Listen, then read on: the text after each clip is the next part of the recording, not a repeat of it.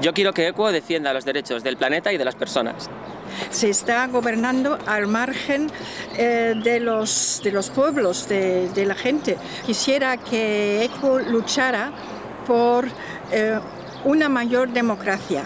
Yo quiero que Equo luche por un mundo más justo y equitativo, ayudando a construir alternativas desde abajo. Y que sea una alternativa real.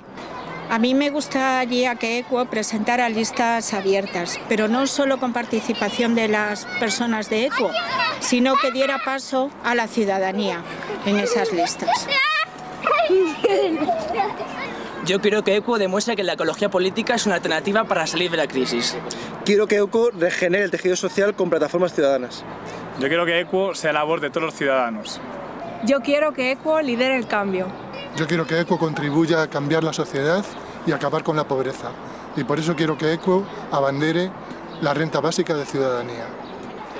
Yo espero de ECUO que genere una democracia participativa en España. Yo espero de ECUO que sea un referente en la defensa de los derechos de los animales. Yo querría que ECUO consiguiera un Estado de verdad laico y que la religión se quedara en el ámbito de la privacidad. Que regenere la política, que nos devuelva la confianza.